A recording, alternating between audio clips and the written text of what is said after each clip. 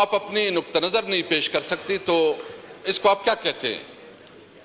मैं इसकी भरपूर मजम्मत करता हूँ कि जिस तरह इस्लामाबाद में या पंजाब में जितनी भी इलाकों में एक पुरमन एहतजाज किया जा रहा था और उस पुरमन एहतजाज की बुनियाद पे जो है ना पर्चे हुए हैं। पर्चे हुए हैं। तो मैं सिर्फ़ ये पूछना चाहता हूँ कि बताया जाए कि या तो आइन मातल है। बताया जाए कि मुल्क पे कोई कानून नहीं, कोई कानून आइन और कानून नहीं है, जंगल का कानून है, जिसके पास ताकत है, वो इस मुल्क का सब कुछ करेगा। यानी मुझे अफसोस है कि जब तारीख इंसाफ कोई जलसा करती है, जब कोई प्रोग्राम करती है तो वहाँ दफ़ा एक सौ चौवालीस लगाती है। मैं पूछना चाहता हूँ लामनेश्वर साहब भी इधर बैठे हैं। आप बताएँ कि दफ़ा 144 और फिर आप जो है ना, मुझे बताया गया जो असम्बली की रूल्स हैं। स्पीकर साहब, मैं ये पूछना चाहता हूँ कि असम्बली की रूल्स हैं कि जब किसी एमएनए को गिरफ़्तार किया जाएगा तो सबसे पहले स्पीकर से इजाज़त ली जाएगी। तो पंजाब में जो हमारे एमएनए को गिरफ़्तार किया गया था, क्या आपके नोटिस में लाया गया? क्या आपसे पूछा क्या क्या इस असम्बली का, क्या ये असम्बली इस तरह चलेगी? इसकी बुनियादी वजह यह है कि स्पीकर साहब, आपके ऊपर ज़्यादा रिस्पांसिबिलिटी आती है। जब हमारे अपोजिशन लीडर और एमएनएस को गेट पे रोका गया, उस वक्त आपको इसके ऊपर भरपूर एक्शन लेना चाहिए था। अगर इसके ऊपर आप एक्शन ना लेते, ना ले तो फिर तो इस असम्बली का कोई वजूद ही नहीं है। ये असम्बली तो मैं, मुझे तो अभी लग रहा है कि असम्बली इस तरह लग रही है कि एटी की जो, से पहले जो मजलिस शूरा थी उससे भी कमज़ोर हो गई है। दफ़ा एक सौ चौवालीस जो है जवाब बना के हमें जो है जलसे जुलूस नहीं करने दिया जा रहा। सिंध में हमने जलसा करना चाहा। हमने जलसा करना चाहा कि हम सिंध में जलसा करना चाहते हैं। बिलावल भट्टो साहब तो माशाल्लाह बड़ी बड़ी तकरीरें करते हैं बड़ा बड़ा अपने आप को जमहूरी लीडर कहते हैं। लेकिन हमारा एक जलसा उससे बर्दाश्त नहीं हो रहा। भाई, हम कौन सा इलीगल काम कर रहे हैं? हम कौन सा गैर कानूनी काम कर रहे हैं। हम तो पब्लिक तक अपना नुकता नज़र पहुंचाना चाहते हैं। पीपल पार्टी जलसे करे, सिंध में कराची में कोई मसला नहीं। सिंध में जलसे करे, कोई मसला नहीं। तरीके साहब जलसे करे तो उसके ऊपर दफ़ा एक सौ चौवालीस इजाज़त नहीं देती। क्या हम इस मुल्क की शहरी नहीं है? क्या हमारा यह हक नहीं है?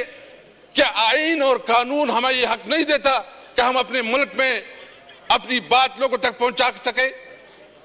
हमने तो सिर्फ़ इतनी बात की है कि जो ये इलेक्शन हुआ है ये बदतरीन रिग इलेक्शन हुआ है। इसमें अवाम की मैंडेट को बुरी तरह पमाल किया गया है। जब इतनी बड़ी और ये चुने मैं पूछना चाहता हूँ कराची के जितने मैनेजर उससे पूछे अपने घर वालों से पूछे कि क्या ये मैनेजर ये रिजेक्टेड लोग हैं जो कराची से बैठे हैं जो इस्लामाबाद से बैठे हैं। ज़्यादातर जल वो लोग बैठे हैं जो कि रिजेक्टेड लोग हैं। इधर असम्बली में बैठे हैं वो कहते हैं कि हम वहाँ बताए आप इधर जो है ना हारी हुई लोग हारी हुई लोग हिम्मत करे। ये जो उधर बैठे हैं मैं पंजाब डिवीज़न की पूछना चाहता हूँ सारे आप जो है ना हारे हुए हैं। वसीम आप हारे हुए हैं और आप कहते हैं वसीम साहब, शर्म आपकी करना बारी चाहिए जब आएगी तब बात शर्म करना चाहिए। मैं पूछना चाहता हूँ हम क्या कहते हैं? ये हमारा कानूनी और आयनी हक है हम जिनसी जुलूस कर रहे हैं। और मैं पूछना मैं बताना चाहता हूँ इंशाल्लाह। हम कराची भी जाएँगे हम लाहौर भी जाएँगे पंजाब भी जाएँगे। रोको तो रोक सको तो रोको। देखें ये आप ये मुल्क आपकी आ, ये मुल्क ने चलना है कानून और आइन के मुताबिक चलना है। अगर आप कानून और आइन को जो है ना सबूताश करेंगे तो आपको इसकी इजाज़त नहीं देंगे। हमें पता है और दूसरी बात जो इस वक्त आप सबसे बड़ा जुल्म कर रहे हैं कि हमें जलसी भी नहीं कर दे दे रहे दफ़ा एक सौ चौवालीस लगा रहे हैं, हमारे ऊपर पर्चे कट रहे हैं। इसने क्या, जी, जुर्म है कि इसने इस्लामाबाद में जलसा किया? स्पीकर साहब, मैं आपने प्रोटेक्ट करना। ये क्या, ये हमारा चेयरमैन है, एक लीगल बैकग्राउंड से ताल्लुक रख रहे हैं। तो एक तो हम ये चाह रहे हैं कि अगर हमें इस तरह हमारे साथ रवैया रखा गया तो ये असम्बली नहीं चलेगी।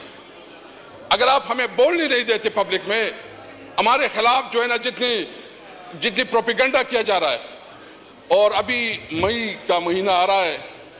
ये फिर जो नौ मई नौ मई कर, कर, करेंगे। मैं कहता हूँ जी जितना तुमने रोना रो लिया जितना तुमने अपना नेरेटो उठा लिया आवाम ने 8 फरवरी में आपके इस नेरेटो को ज़मीन बोझ कर दिया है। आवाम ने फैसला कर दिया है कि तुम जो तुम जो कह रहे थे वो झूठ कमीशन बनाए। कमीशन बनाए जुडिशियल कमीशन बनाए। और अगर आप चाहते हैं तो चारों सूबों की चीफ जस्टिस को वो इस कमीशन का हिस्सा बनाए। इंसाफ का तकाजा सामने आ जाएगा।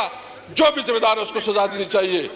ये जो कुछ कर रहे हैं एक मिनट यार। मैं इसलिए कह रहा हूँ ये कौन परेशान कर रहा है मैं सिर्फ़ इतना कहना चाहता हूँ कि मैं मुतालबा करता हूँ फिर से कि 9 मई के ऊपर जुडिशियल कमीशन बनाया जाए। और जो भी रिस्पांसिबल हो, उसके खिलाफ एक्शन लिया जाए तो हम पार्लियामेंट को मज़बूत देखना चाहते हैं। हम चाहते